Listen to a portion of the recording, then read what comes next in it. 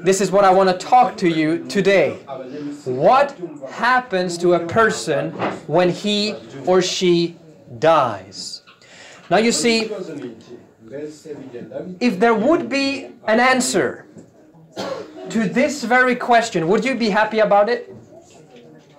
If you would receive a satisfactory answer, not only which would calm your head, but which would calm your heart, would you want this kind of answer?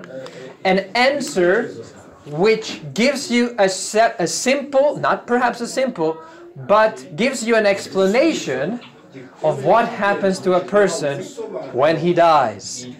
You know, today there is a rise of spiritualism. There is a rise of people believing in the afterlife, but not only in the afterlife, in the spiritual world. People believing in ghosts, people believing in spirits, people believing in communicating with the spirits. And these movies from Hollywood are making this a normal thing. That it is okay, it is normal to communicate with the spirit world. Whether that is Harry Potter or Twilight or The Sixth Sense, and I could give you many other movies and documentaries and, and, and series. It truly is, our culture is wanting an answer. They want an explanation. And the question is, can we know is there, if there is life after death? Would you want to have life after death? It depends on what that life is. But what if that life is beautiful? What if that life is full of peace? What if that life is full of perfection without evil and any other thing? What if there is life after death? You know, in the book of Job, chapter 14, verse 14, many thousands of years ago, the biblical book of Job asked a question which has been in every heart of every human being. The question that Job asked was the following If a man die, shall he live again? Have you ever had that question? If a man die, shall he live again? Yes? Yes? Oh, very good. As we are going to discover, the Bible clearly says that there is not only this life, but the life to come. But there are so many understandings of what that life to come means. You see, for some people, it means that when you die, you go directly to heaven. Or, if you have been a bad person, you go to a very, very hot place, and I'm not speaking about Australia. I'm speaking about a more, more hotter place than that. Some people mean that when you die, you are going to get reincarnated. In other words, you have been a good person now, you are now going to become an even better person in the next life. But if you have been a bad person in this life, then maybe you are going to become a wolf, or maybe you are going to become a donkey, or, or maybe you are going to become a bacteria. Who knows?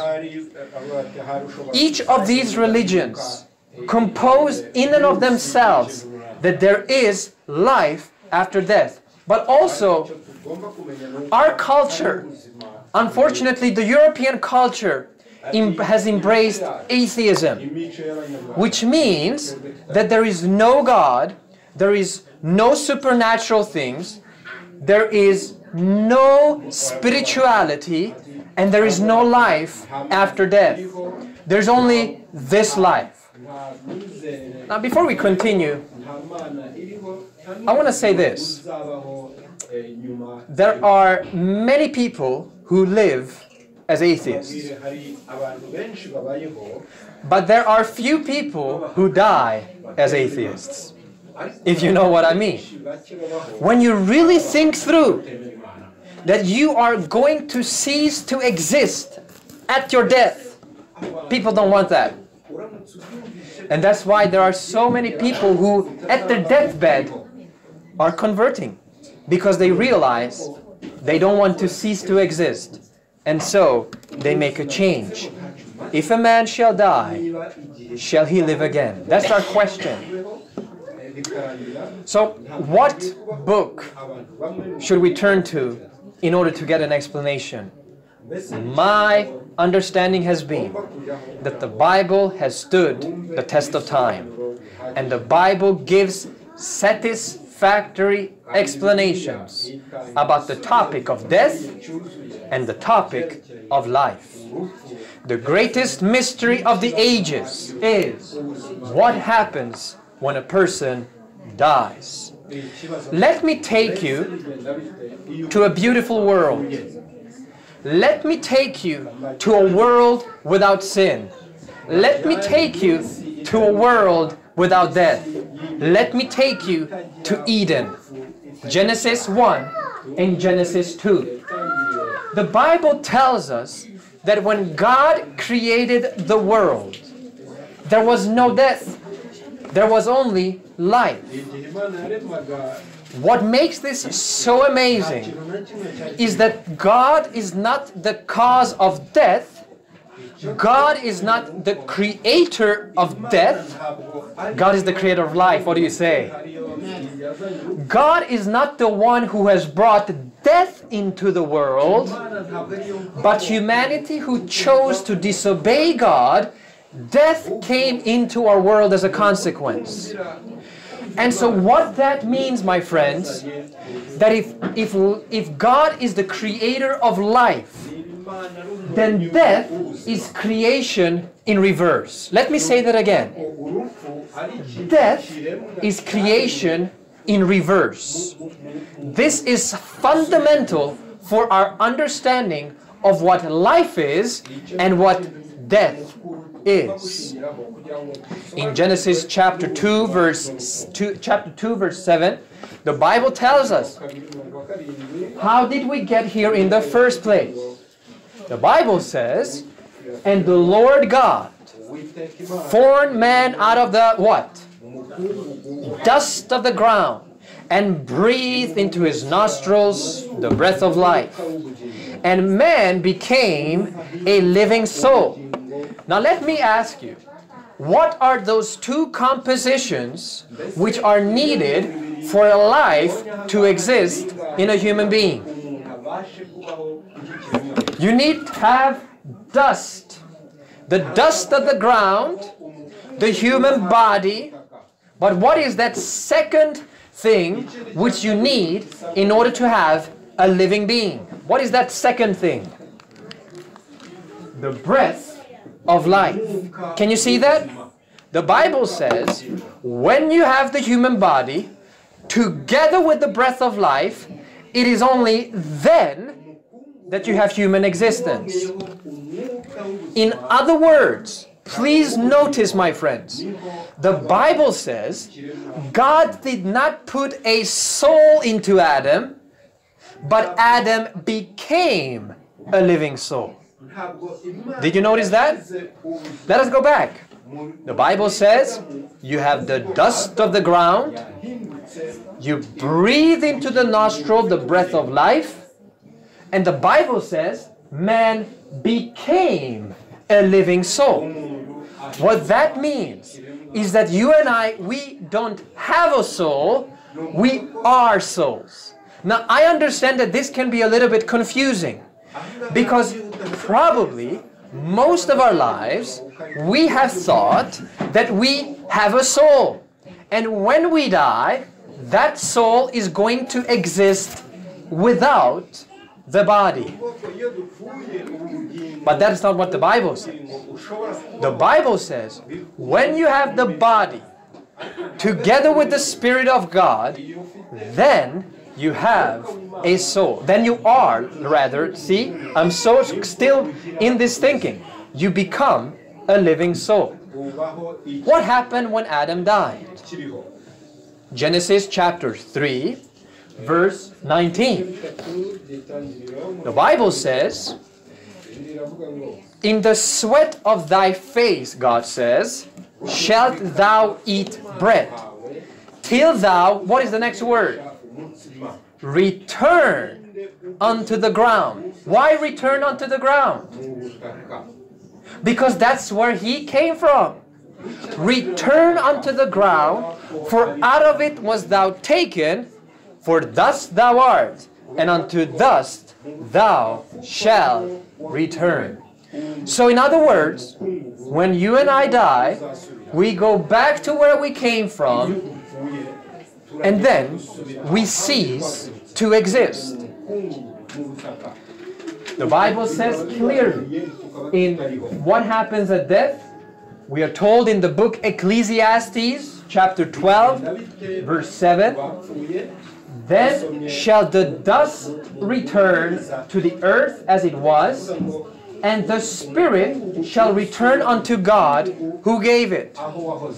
This is the book Predikaren in Swedish. So here the Bible tells us the body goes back to where it was, but the spirit came from God. Now don't misunderstand this. This is so significant, my friends. This spirit is not a thinking entity. Let me say that again. The spirit we got from God is not a conscious being. It is only when we have the body and the spirit which we receive from God, it is only then that we become a living soul. We do not have a soul, we are souls. Does that make sense so far? Do you see that from Scripture? Do you see these two com compositions that are needed? Very good. Now, let's take an example. An example which you and I can all understand. Let us take a look at electricity. What do you need to have in order to have electricity? You need to have a light bulb, and then you need to have power, and then, together with these two compositions, you have electricity. Or, we could even take the example from a computer. What are those two things you need in order to, for the computer to to, to, to exist or to work? You need to have a hardware, which is that thing that you are now able to see. But you see, a hardware without a what? Yeah, exactly. A hardware without a software does not exist. You need to have an operational system for the computer to work. That's what is so beautiful. That when these two things are combined with the power into it, it can really work. The hardware is the body. The software is that thing which God keeps us alive. Go with me to the book of Ephesians in your Bibles, to chapter 4, verse 23.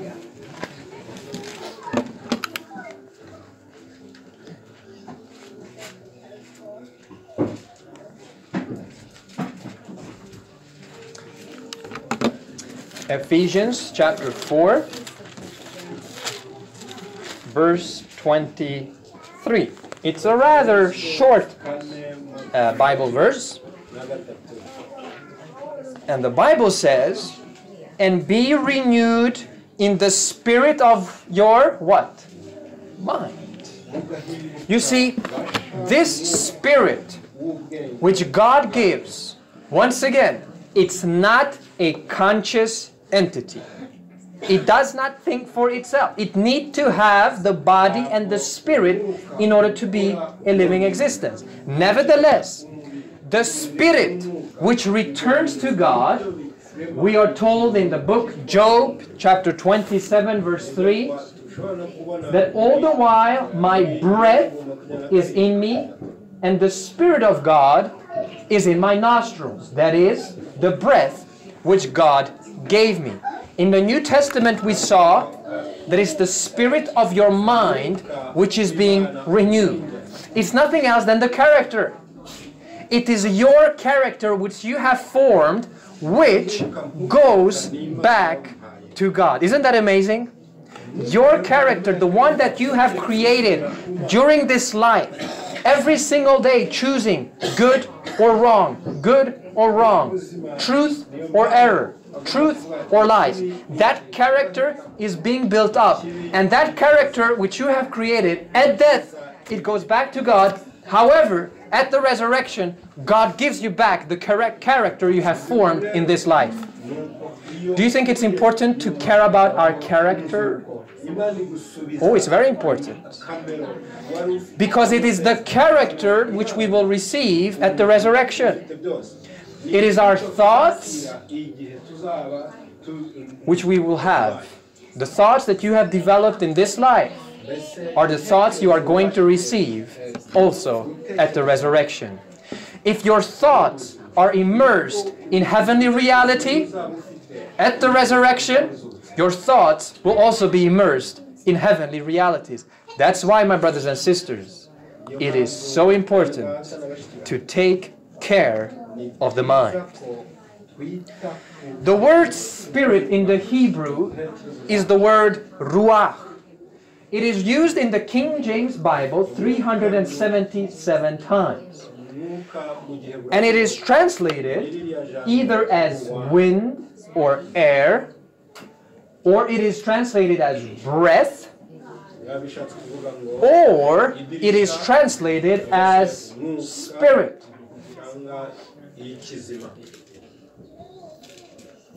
There you go. The Bible says in Ecclesiastes chapter 12, verse 7 Then the dust shall return to earth as it was, and the spirit will return to God who gave it. Let me remind you once again this spirit is not conscious in and of itself. The spirit and the body is needed for consciousness to exist. The spirit that goes back to God is not a conscious thinking entity. Now, what about the Egyptians? And what about the Bible? You see, the Egyptians believe that the soul was immortal. They, that, that's why they believe that when they died, they were at their death going into the afterlife to present whatever gifts to Osiris, the god of death. What we need to ask now, and we need to be very careful in how we answer this, what does the Bible say about the soul?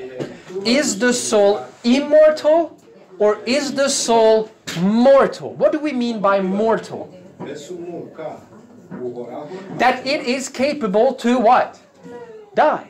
It is capable to cease to exist. Come with me to Scripture. The Bible says in the book Ezekiel, chapter 18, verse 4, the Bible says, Behold, all souls are mine. As the soul of the Father, so also the soul of the Son is mine. Take a look at this. The soul that sinneth, it shall what? Die. So according to the Bible, can a soul die? It can die. Now why? Because the Bible defines the soul as being our entire being. Because the Bible describes the soul as being the body and the spirit which becomes a living soul. So we could say the living being that sinneth, it shall what? Die. So the Bible, we could give so many examples from Scripture that according to the Bible, the soul can indeed die. Then let me ask you this. If the soul can die, is it mortal or immortal? It's mortal. Because only something is immortal that cannot die. But if something can die, then it is mortal. It is able to cease to exist. According to Scripture, the soul is mortal. In the King James Bible, the word soul is used about 460 times, but never once uses the term immortal soul. It is only using that God is immortal. It only uses that God is immortal, but it never says that you and I are immortal. In your Bible, go with me to 1 Timothy in the New Testament. 1 Timothy chapter 1 verse 17. Speaking about God here, and take a look at how God is described. Now to the King eternal, immortal, invisible, to God who alone is wise, be honor and glory forever and ever. Amen. So the Bible says that who is immortal? God is immortal. But when it comes to human beings, the Bible says, the soul that sinneth, it shall die. So only God is immortal, and human beings are mortal. Take a look at this.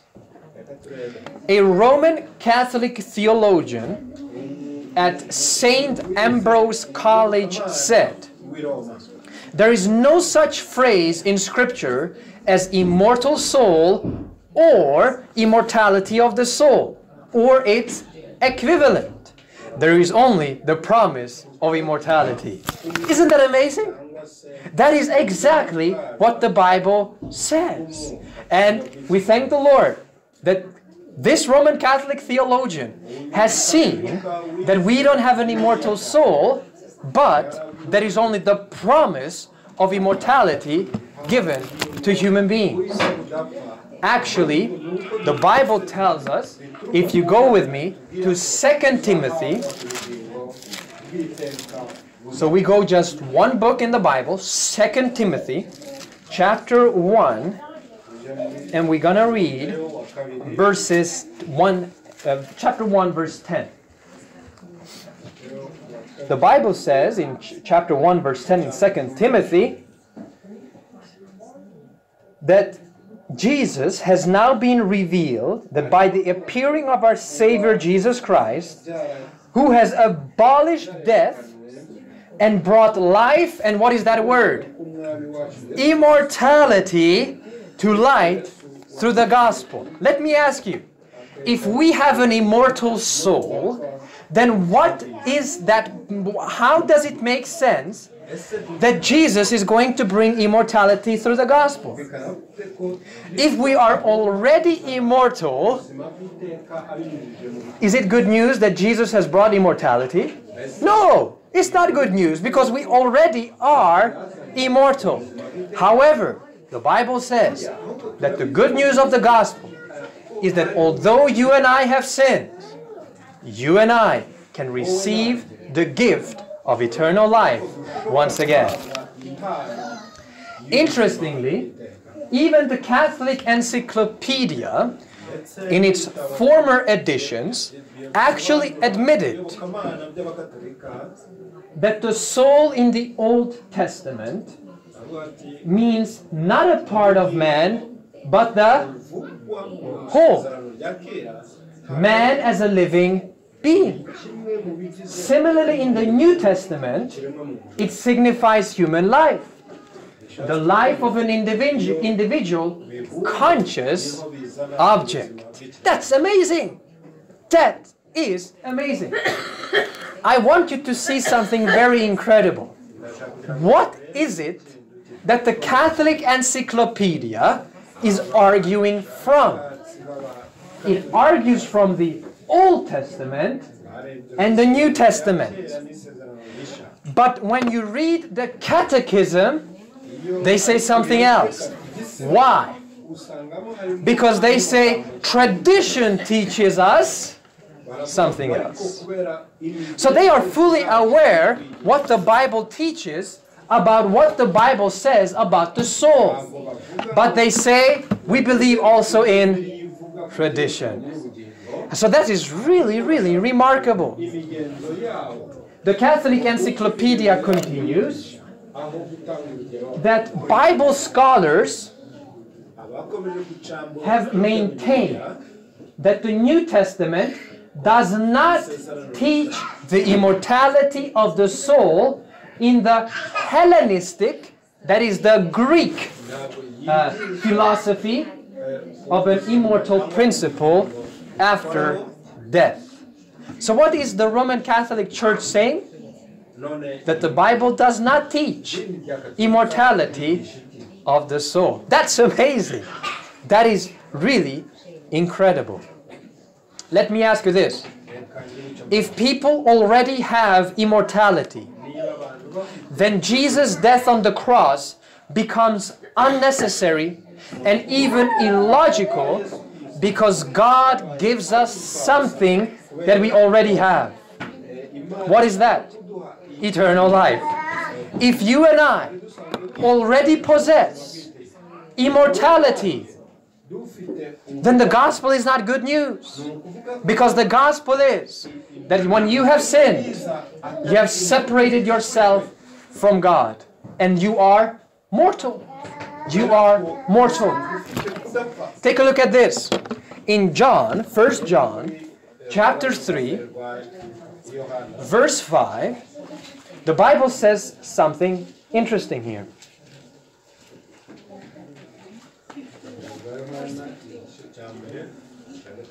In 1 John chapter 3 verse 15, the Bible says, Whoever hates his brother, is there anyone who hates his brother here? Don't raise your hand. Okay. Whoever hates his brother is a murderer. And you know that no murderer has eternal life abiding in him. What does the Bible say here?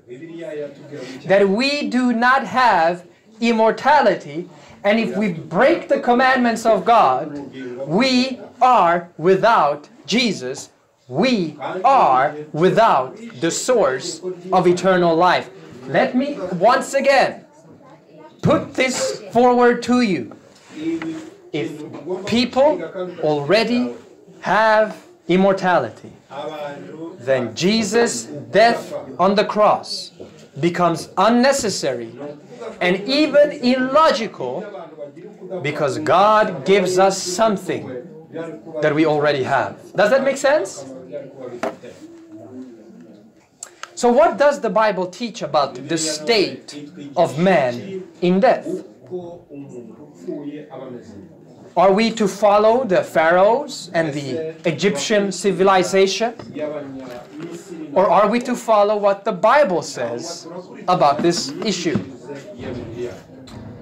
The Bible says in Ecclesiastes chapter 9, verse 5, it is just after the book of Proverbs.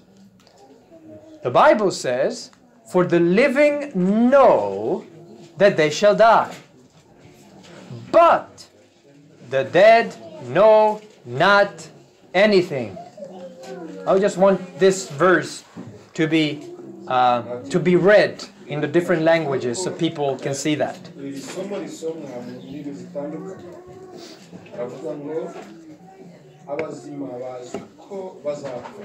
Iri somo risomwa mu ndimi zitandukanye aravuga ngo abazima bazi ko bazapfa ariko abapfuye bo ntacyo bakizi bakizi kandi nta ngororano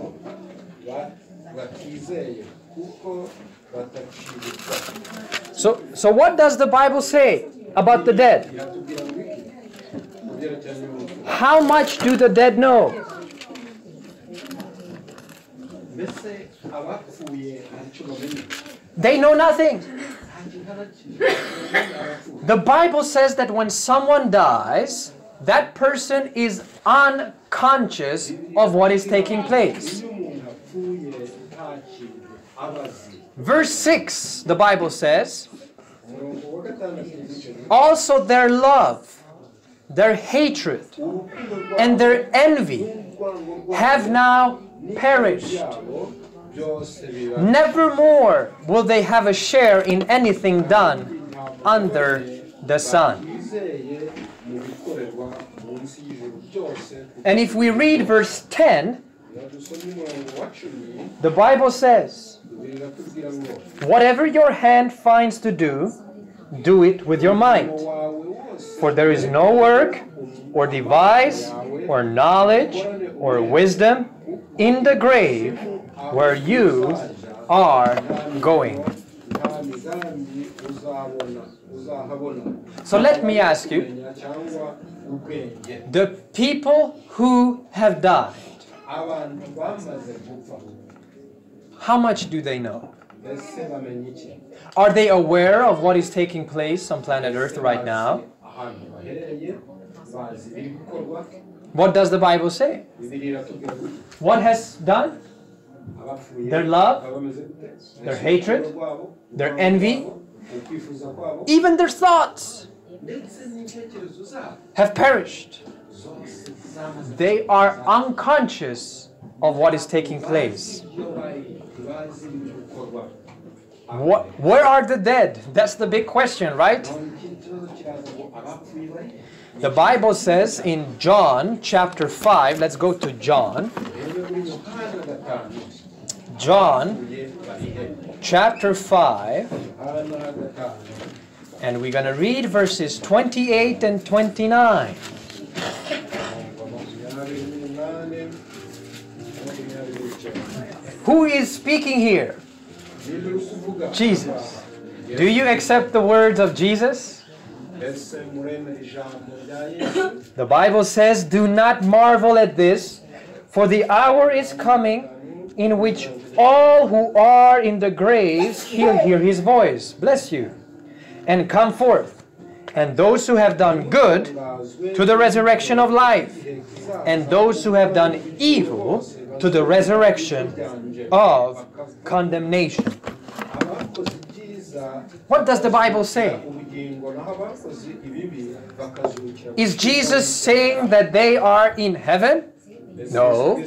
Jesus simply says that they have returned to the graves, they are waiting for the resurrection, and when the resurrection takes place, they are going to be resurrected.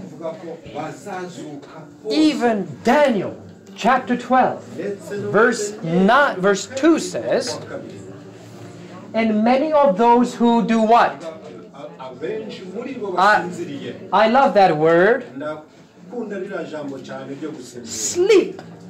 gusinzira Many of those who sleep in the dust of the earth shall awake. What do you say? muri icyo gihe bazazuka Do you find a hope in this message? That even though some may have died, but if they have faith in Jesus Christ, they will awake when Jesus will come back? Isn't this a message of hope? Isn't this a message which should go to the ends of the world? That there is hope beyond the grave. Grave is not the end. Grave is not the last station. Grave will have not the last laugh, but Jesus will, because Jesus has defeated death on the cross. Sleep in the dust of the earth. They shall awake, some to everlasting life, some to shame and everlasting contentment. It's yours and mine choice which resurrection we want to be in. If that would happen, if we would die before Jesus would come back. But Scripture says That when someone dies, they are sleeping.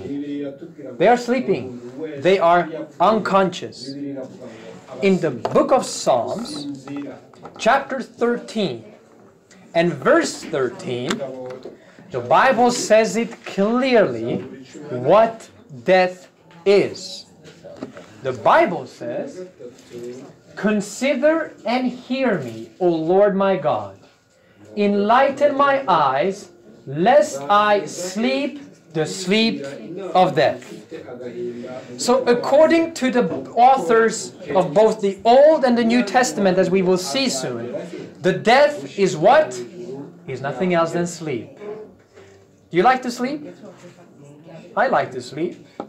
You know, when I was playing a professional football,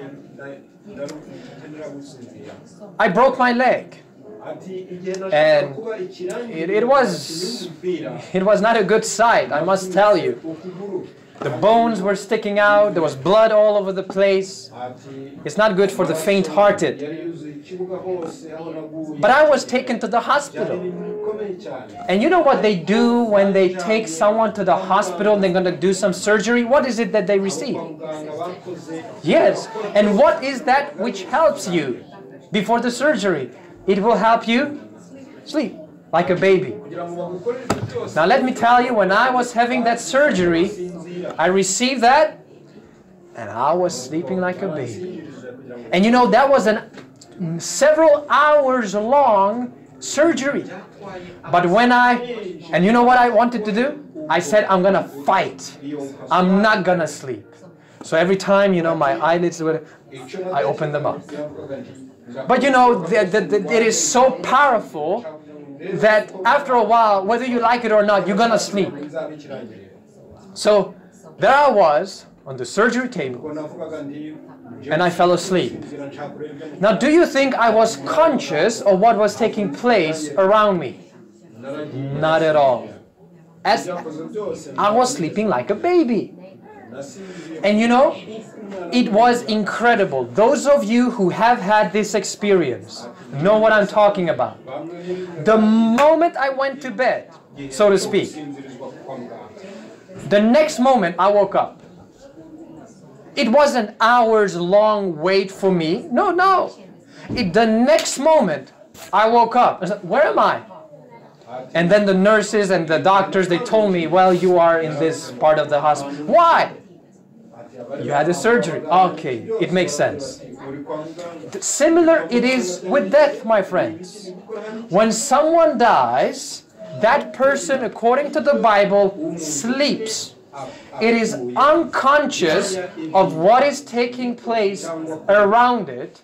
And when Jesus comes, which will be the next thing for him or her to happen, there will be the resurrection. Just as it was with my surgery, so also it will be with death. Sleeping the sleep of death. In Job chapter 14, verse 12, the Bible says,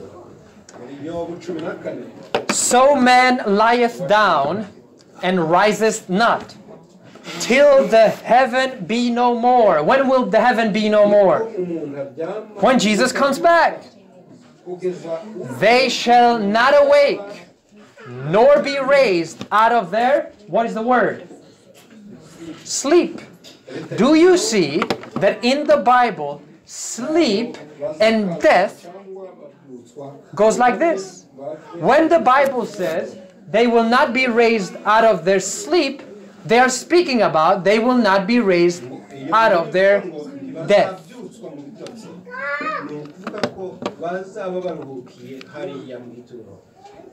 Jesus said they will be coming forth from their graves. And this was our scripture reading in John chapter 11,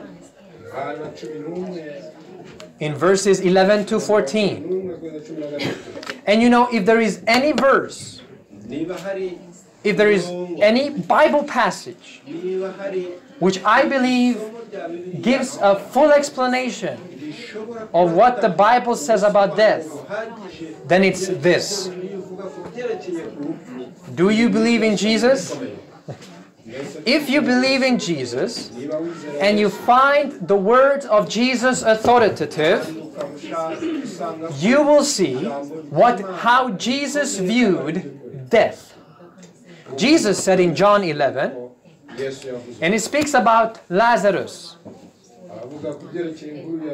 The Bible says, Jesus said, and after that, he said to the disciples, Our friend Lazarus, what is the word? Sleeps. Was Lazarus sleeping? He was dead. And that's what the disciples misunderstood. Our friend Lazarus sleeps, but I go that I may wake him up. Then his disciples said, Lord, if he sleeps, he will get well. Do you, do, do you like the disciples that are, Jesus, what are you talking about here?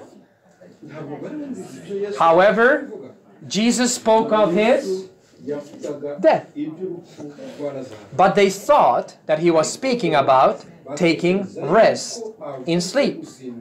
Then Jesus said to them plainly, Lazarus is what? Dead. So when Jesus says that Lazarus sleeps and that Lazarus is dead, what is he saying? That sleeping and death is that same thing. When the Bible speaks about death, it uses the metaphor of sleep. The Bible does not say when someone dies they go to heaven. The Bible simply say they are sleeping. The, the body goes back to the dust and the spirit, that character which each one of us have received and developed, that goes back to God. Now you know what is so interesting? When you read John chapter 11, you are going to find that Lazarus comes back because Jesus resurrected him. Now let me ask you, does the Bible say something that Lazarus said about death? The answer is no. Lazarus does not say, Jesus, I had such a good time with the angels. I had such a good time with Abraham. I had such a good time with all the saints. Does Lazarus say that in John 11? abandi basinziriye mbere No. Why? Because Lazarus was not in heaven. Lazarus was simply sleeping. Imagine this. Imagine this. You are in heaven. You have died and you are in heaven directly. ukaba warapfuye ukaba uri You are enjoying the glories of heaven. ni ukuvuga ko A life without sin, ubwiza bwo mu a life without death, a life without misery, a life without waking up uh, 6 o'clock on Mondays. Hello, somebody. You are enjoying heaven. But somehow Jesus calls you back to earth. Would you like that? You are enjoying heaven, and now someone is calling you back to once again experience sin and experience evil and suffering on planet Earth. I don't think that that is really that uh, gracious, so to speak. Instead, Lazarus was simply sleeping, and he came forth from the grave. Anybody recognizes the story that Jesus said to, to the people, remove the stone. Remember that? Just said, remove the stone. And what was it that Jesus said before Lazarus was raised? He said, Lazarus, come forth. You know why it's important that Jesus said, Lazarus, come forth? You know why it's important that Jesus said the name first and then said, come forth? Because if Jesus would only have said, come forth, all of the graves would have opened up. But now he said, Lazarus, and only Lazarus came forth. That's one of the major, major miracles which Jesus made on planet Earth, which testifies that if Jesus was able to resurrect Lazarus from the dead, he is able to resurrect each one of us if we would sleep in Jesus when he comes back. How much do the dead know? Nothing, the Bible says. They are simply sleeping. The Bible says the dead know not anything. The Bible says in Psalms 115, the dead praise not the Lord.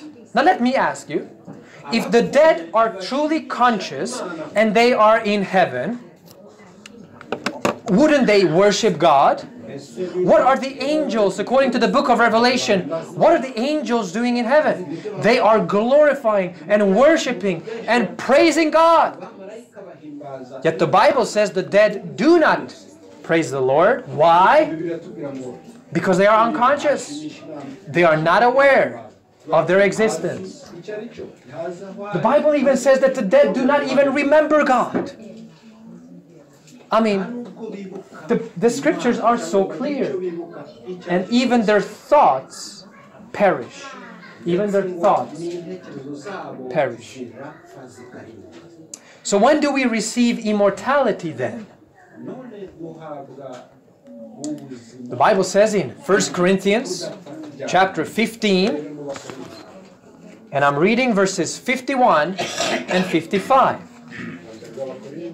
These are the words of Paul.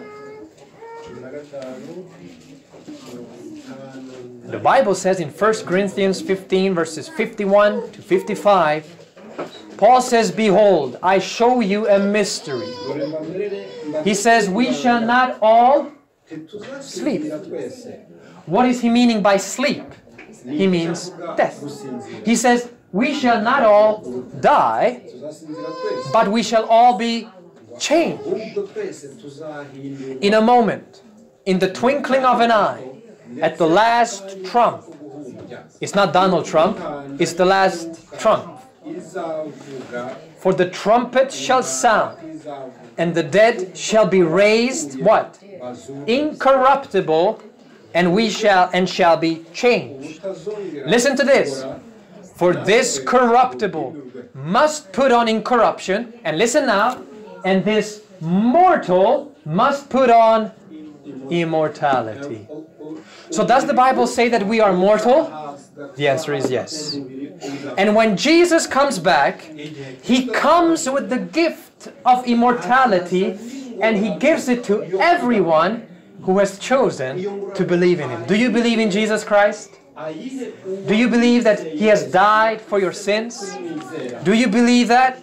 Right now, you can have full confidence that if you have received Jesus Christ, that he will give you the gift of immortality.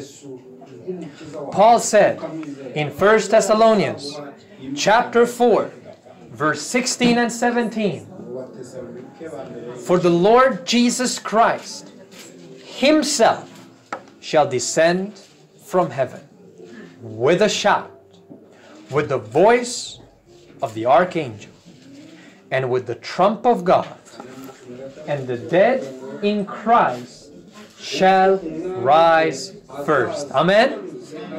What a hope!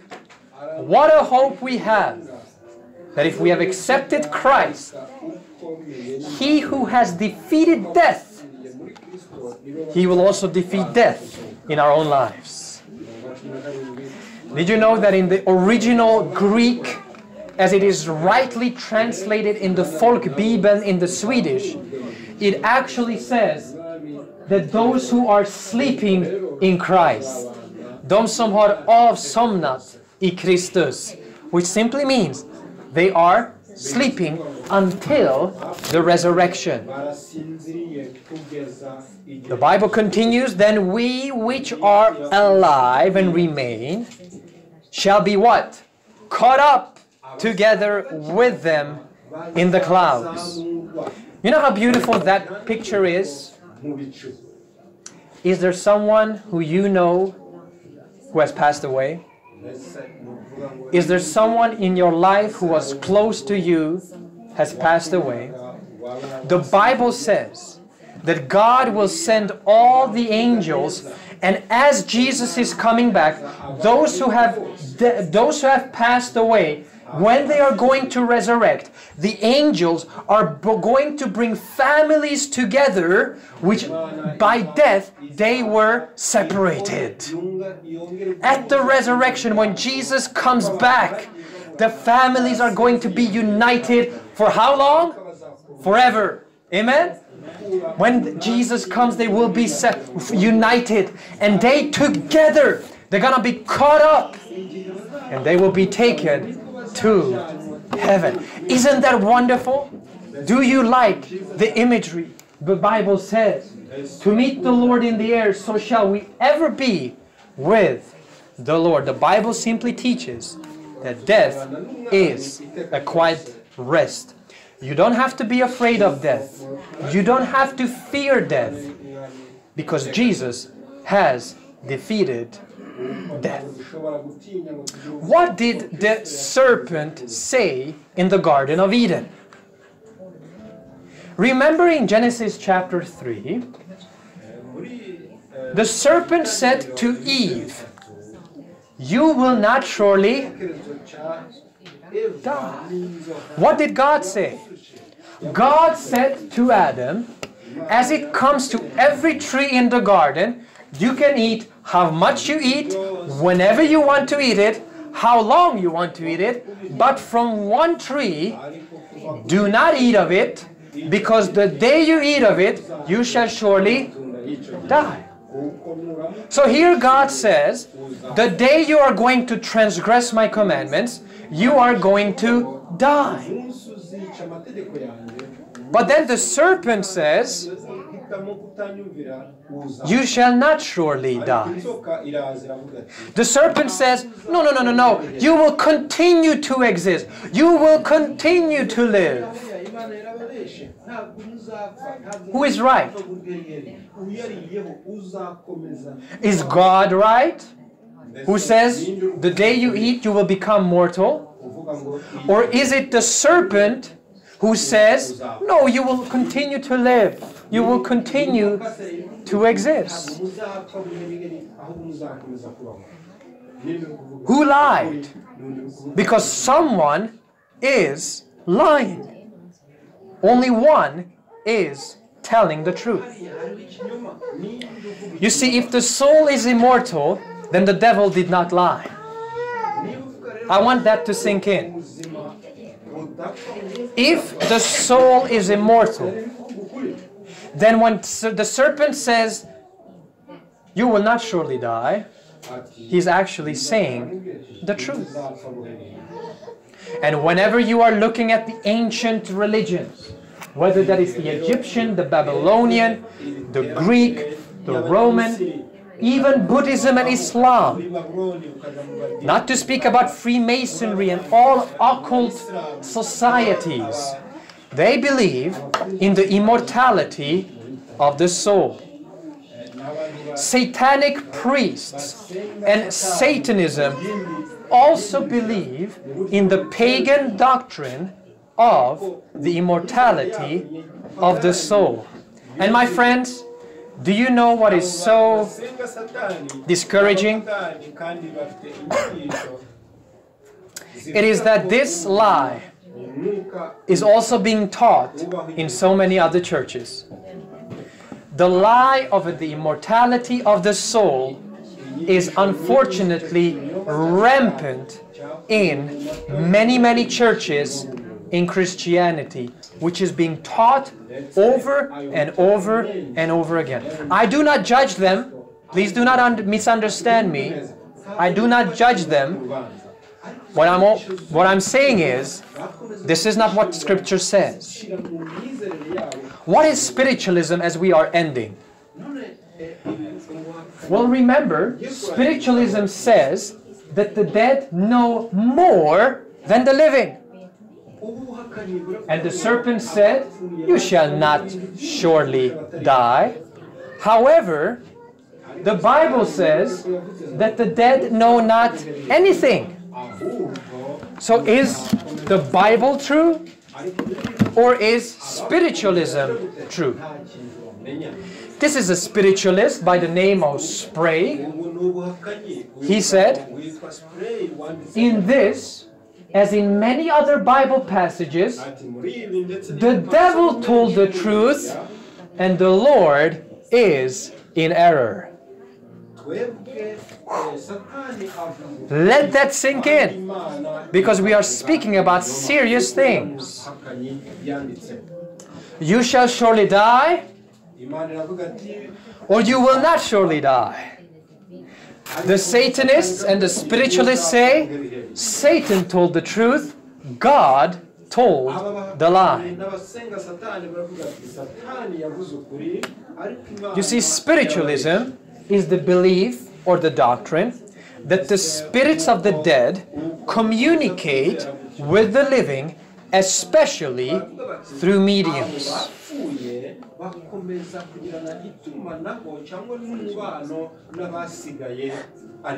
And you know what I find so remarkable?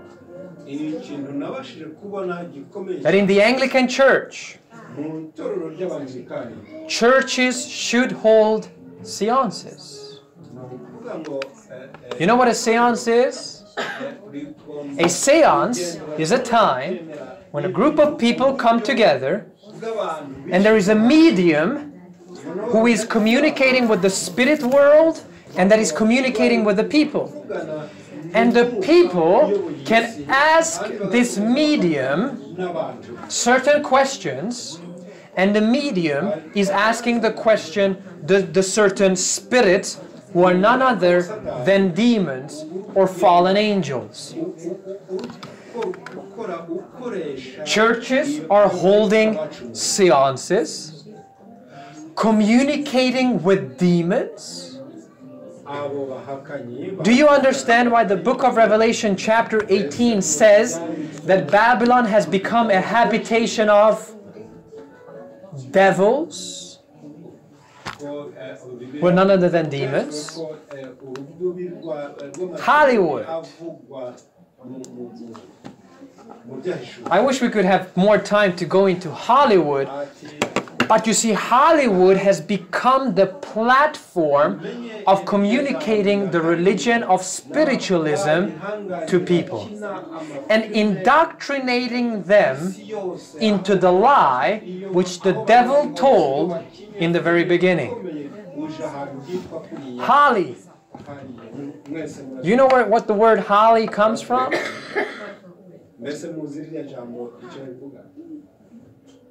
Holly comes, you see, the spiritualists and these magicians and, and what have you, these witchcrafts, what, they were using a special kind of substance in order to be able to do whatever they were going to do. Now, that substance was called Holly. Isn't that interesting that Harry Potter's, um, what, what do you call that, womb? It's, anybody knows the name of it? It comes from the tree holly. Holly wood. Doesn't that make you some questions? Hollywood. The Revelation 18 verse 23 says, For by thy sorceries were all the nations deceived. The word for sorcery here comes from the word pharmakeia, and it can also be translated as witchcraft. For by your witchcraft the nations were deceived. Are the nations today deceived by witchcraft? Oh, ukundi Are the western part of the world also being deceived by witchcraft? Yes. Maybe not in the same thing as perhaps in Africa or in Asia or in South America. But witchcraft is fully embedded in the western part of the world. How? Through entertainment. Entertainment television, entertainment series. You see, it was in the 1990s that this revival of spiritualism, of making spiritualism uh, acceptable in the public, really came forth by some of the TV series I bet you watched, because I watched them too. So whether that is Sabrina, hello somebody, or Charmed, or Practical Magic by Sandra Bullock, or Vampire Slayer, they are trying to make this as acceptable to the public and indoctrinating them as much as possible. And if there is any movie that has played a significant role in making spiritualism a cool thing, making spiritualism a thing you have to do, it is the movie Harry Potter. It is the communication of the spirit world.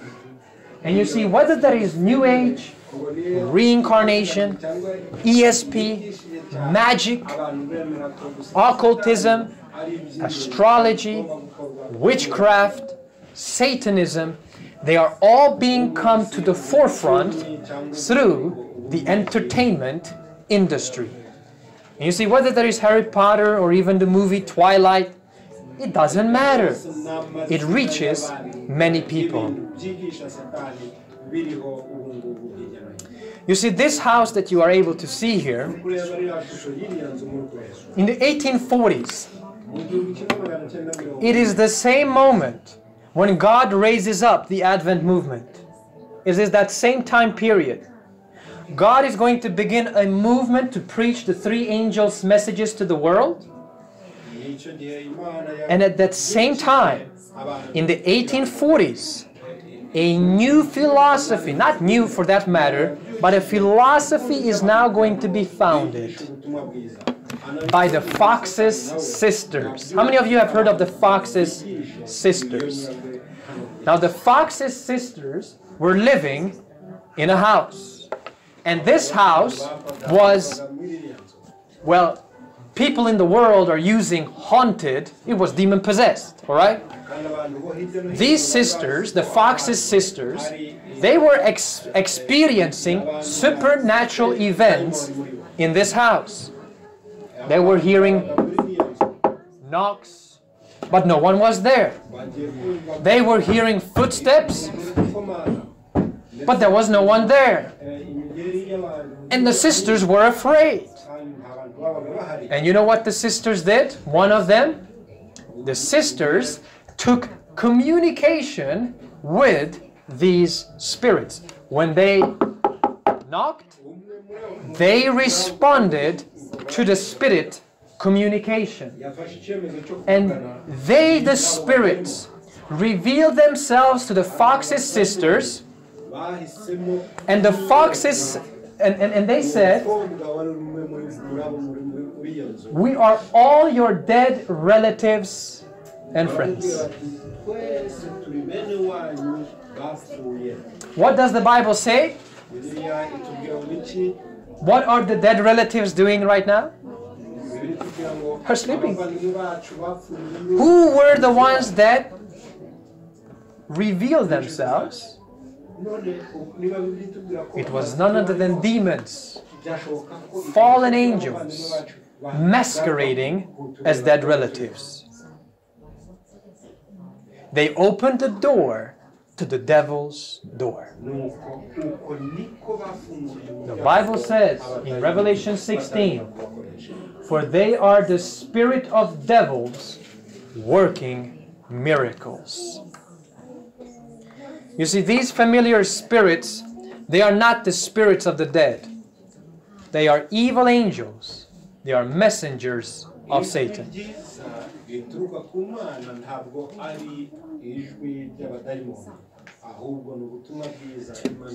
And this is a true tombstone that you are seeing here.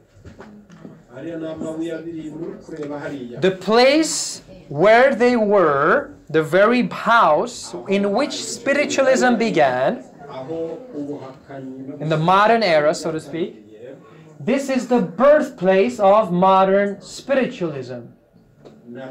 Upon this site stood the Hydesville Cottage, the home of the Fox's sisters, through whose mediumship communication with the spirit world was established in 1848.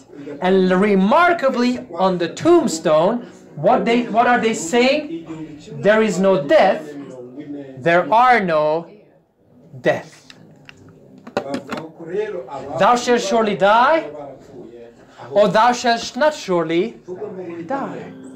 So spiritualism is just a continuation of the first lie the devil told in the Garden of Eden. So in 1840, God brings about the Advent movement to preach the good news of Jesus Christ. In the 1840s, Satan brings about a movement of spiritualism to deceive the entire world. Can you see the great controversy before your eyes? The controversy is real. The devil's door was wide open. You see, spiritualism claims that the dead are not dead. The fundamental principle of spiritualism is that human beings survive bodily death. And that occasionally, under conditions not yet fully understood, we can communicate with those who have gone before. Is it biblical or is it not biblical? This is satanic. The spirit, spiritualism claims the dead communicate with the living. As we saw, there is no death in the graveyard. I have frequent talks with the dead. I cannot doubt that people live after death, for I frequently talk with them. Sir Oliver Lodge. And I bet you that there are thousands, if not millions, of people who are talking with these supposed spirits of the dead. Hillary Clinton and Bill Clinton, but that's another presentation. witwa Hillary Clinton na Bill Clinton nabo For the living know that they shall die, but the dead know not anything. You know, Jesus said, and this is where we are ending, in John chapter 11, verse 25 and 26. The Bible says what kind of hope you and I have. bibiliya iravuga neza ibyiringiro wowe nanjye dufite The Bible says in John chapter 11, verse 25, Jesus says, I am the resurrection and the life. He who believes in me, kuzuka n'ubugingo unyezera naho though he may die, he shall live. And whoever lives and believes in me shall never die. And my question to you is, do you believe this? Martin Luther, one of the leaders of the Protestant Reformation, said, who also believed what we now have studied,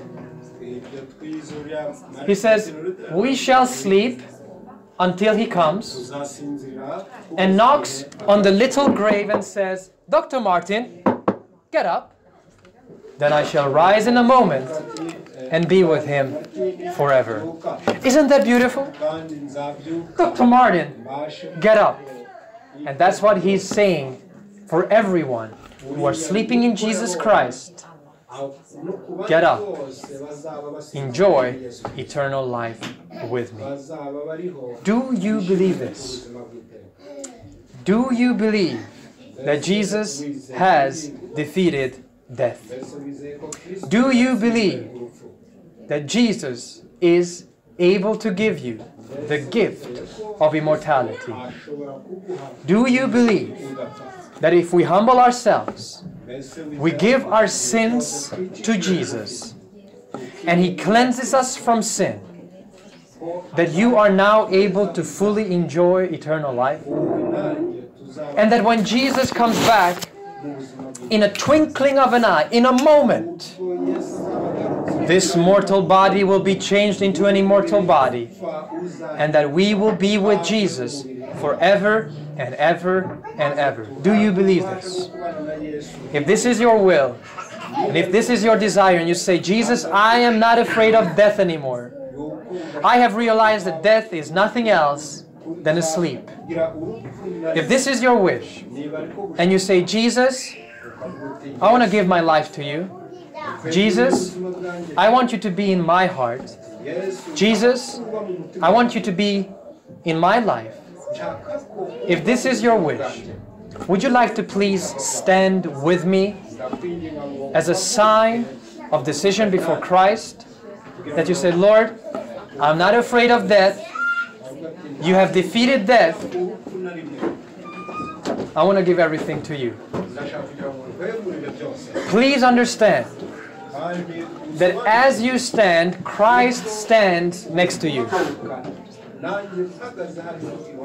And that's the message that we will be with Him forever.